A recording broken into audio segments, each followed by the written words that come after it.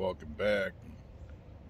I want to talk about some alternative rigging for the two tether saddle platform. Check it out.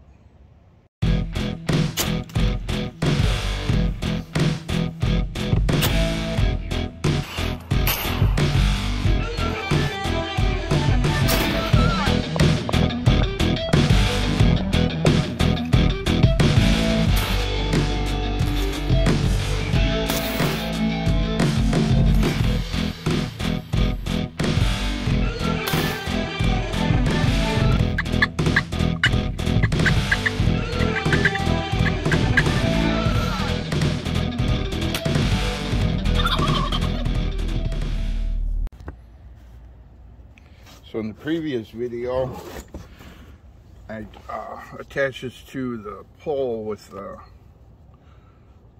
the original um, process. And uh, I had a knot here. I had a knot here that kind of established my um, my height where I where I figured I wanted it where I wanted to start with it the height of the the girth hitch around the tree to the to the platform to this knot here. And just to uh, clarify the way the way this works it relies on uh, the weight on the platform pushing the platform down and uh, and the relative motion of, of this line goes up and this loop pulls in. And ultimately the the other end of this this rope is around the back side of the tree. It's around the tree like this and back. So as this pulls up this tightens and that's what makes it work. So anyway uh, in the idea or in the uh, in the spirit of making the the setup a little easier I figured rather than just have a knot here I put an alpine butterfly. So I'm going to start with that. And then uh, I'll do a couple of these changes here and then I'll go over to the pole and, and set it up. But alpine butterfly is just um, you wrap this three wraps around your hand like this.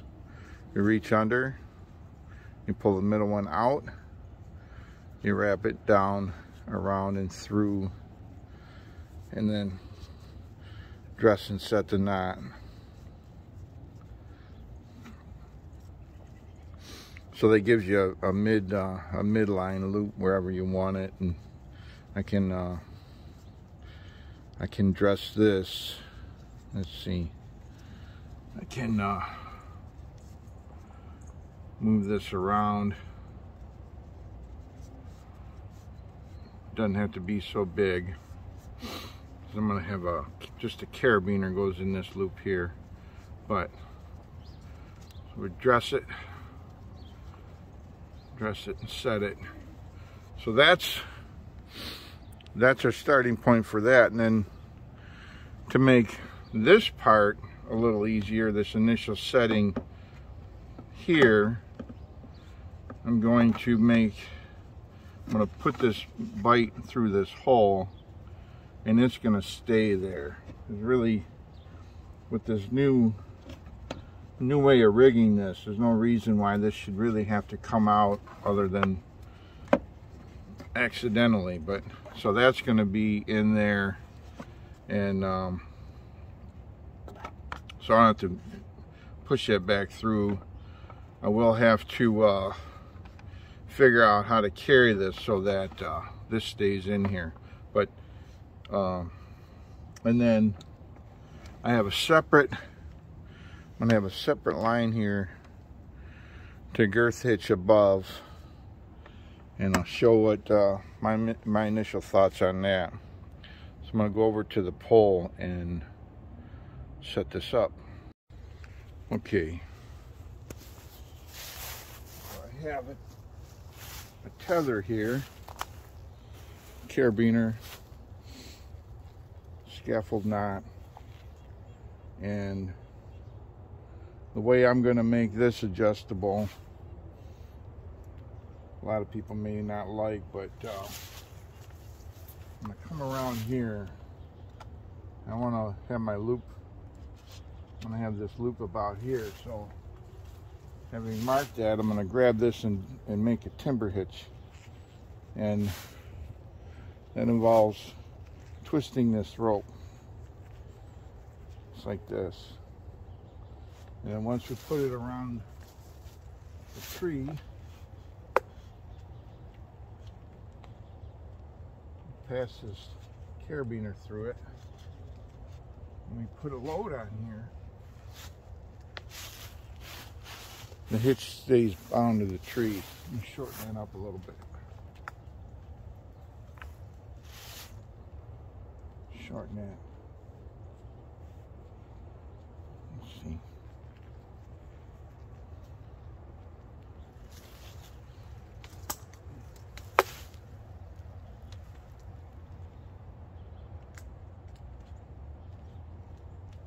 So that replaces wrapping our that replaces wrapping this line up and around. So I'm gonna take my platform and I have a alpine butterfly.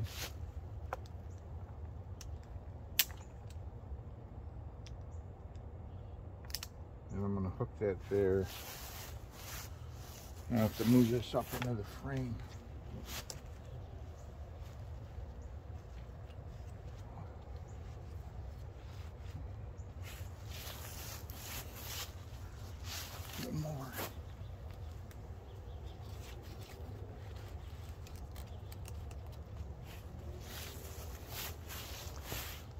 Okay, so now that now that that's hooked up, all I have to do, and I have this already through, I'm going to pass the working end of my line around the back of the tree and through this loop through this loop here and then bring it back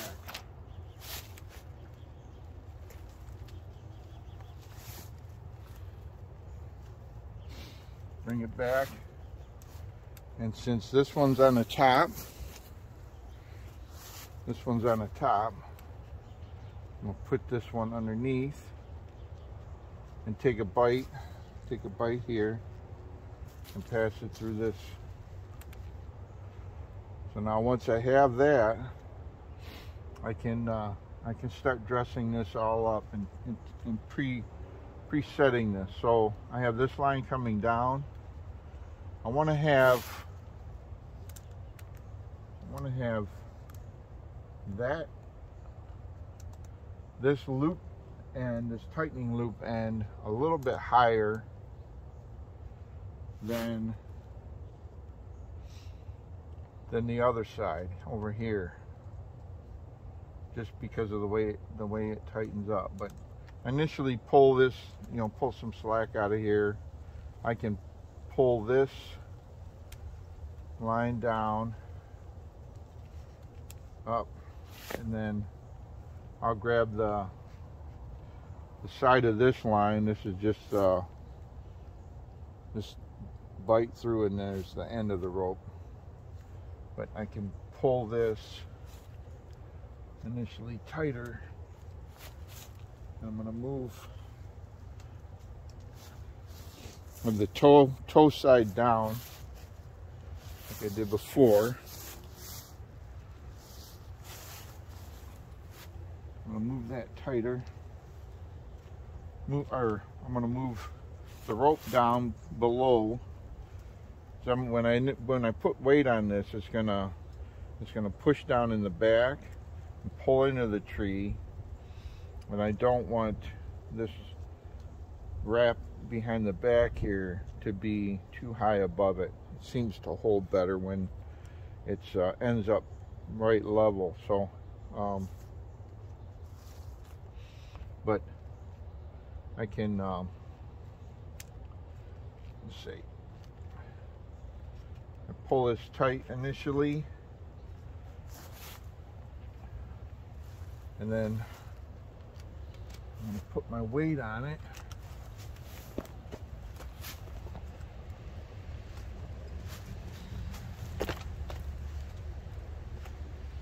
Like that.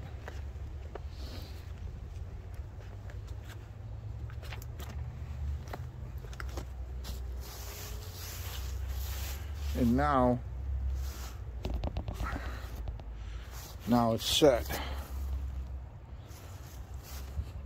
I realized in the previous video it might have looked like I was, it ended up on the ground, uh, but it didn't. The only other final thing I might do, I can put a, uh, do it right now. I'm to put a stopper knot. You can put a stopper knot in the end of this of this line so without loosening the stand I'll just I'll do that now. Knot of the day. So this is the this is the stopper knot I'm going to use on my uh, my tethers my uh, bypass link. Uh, it's the Ashley stopper knot. So it's a mountaineer knot. Anyway you take the take the line in front of you. And make a loop with the end underneath. Set the loop on top of this of the uh, of this part of the line and pull this. So you kind of have a, uh, a sliding a sliding knot and then take the end and pass it through there. And the only thing left to to do is set it dress it and set it. And you end up with this uh, three lobes. And it's a nice big uh, kind of a flat faced stopper knot and it's a it's a little bigger than the one I was using in my uh, in my bypass link originally but I've since changed them all out to this. I learned about this uh, this knot. I like it a little bit better but anyway that's it. And uh,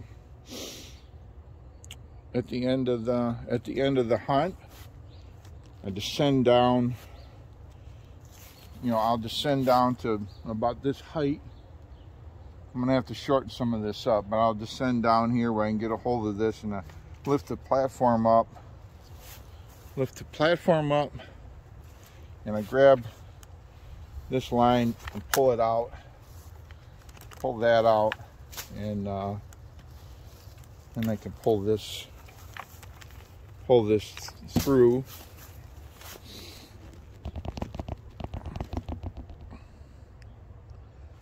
And uh, take this, take that free and lower that to the ground. Remove this from the tree.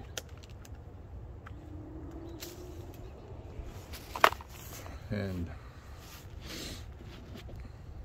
shake my camera. Once we got it on the ground, well, when I leave, I can just wrap this up and this can go in a pack and then this, gonna have to do this a little differently, I guess. Um, I can start here though, as usual.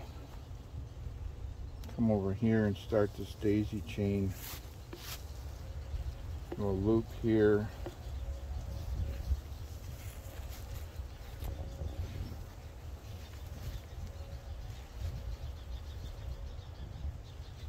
The last one through and then come over to this um, to this loop we want to keep here and just put this Put this through, tighten that up, and then this can go, it just goes over my shoulder, and that's, that's how I carry it in and out of the woods.